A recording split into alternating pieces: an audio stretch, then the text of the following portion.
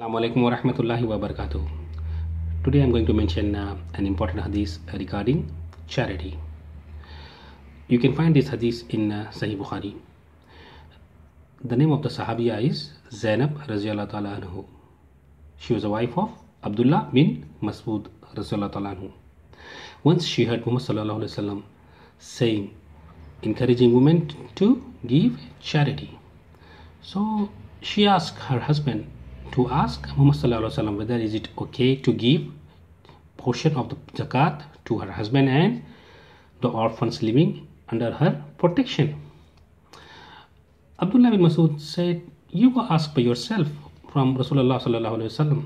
So she went to the masjid, stood outside the masjid along another Ansari woman who has similar issue. Bilal was uh, passed by, so she asked Bilal to ask Muhammad sallallahu alaihi wasallam about the issue.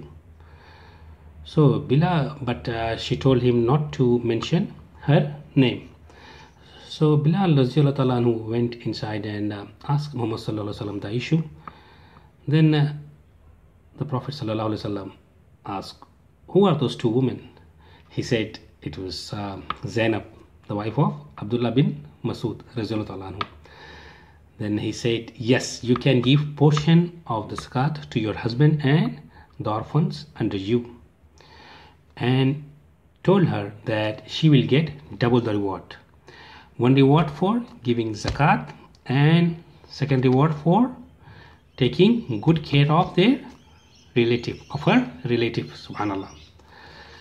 So through this hadith we come to know brothers and sisters that a wife can give zakat to her husband, but the husband cannot give zakat to his wife.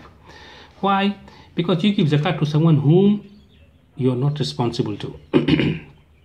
but husband is responsible to his wife to feed her, to look after her, to clothe her. But a wife is not responsible to take care of her husband. But if she's taking care of her husband, it's regarded as zakat, whatever she's spending. And also, we come to know another thing through this hadith that uh, you have to find someone among your relatives to give zakat. Before going outside, you find someone within the within your relatives. But if uh, the relatives are dependent on you permanently, then you cannot give them zakat because if they are dependent on you, it's their right upon you. You have to look after them. For example, widow sister disabled brother and sisters little brother and sisters if they are dependent on you you are taking care of them. You cannot say you know oh i'm taking care of my taking care of my brother and sisters so i will not give zakat. No. You have to find someone outside then. Alhamdulillah. And when you give zakat do not express as a favor you have given to the person who has taken the zakat because you are not giving him any favor.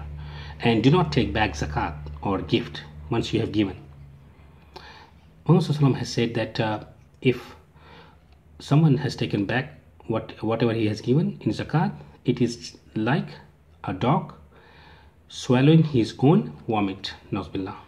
May Allah protect us. Um, in another hadith, uh, once uh, Umar anhu, he gave one of the horse in charity. Subhanallah. Uh, then he found that the person who who was given charity is not taking good good care of his horse of that horse. So he intended to buy it back assuming that you know he will uh, the the person will sell the horse at low price. He thought you know the, uh, he will sell his uh, that, that horse at low price. Then he went and asked muhammad sallallahu alaihi wasallam about the issue. Muhammad sallallahu alaihi wasallam prevented him from doing it. He said do not take it back and do not buy it back whatever you have given in charity or as a gift if you do so it is just like you are swallowing your own swallowing your own vomit billah so whatever we have said Allah may Allah give me a tawfiq and Allah give you all tawfiq to implement in our life. Amin. Assalamu alaikum rahmatullah.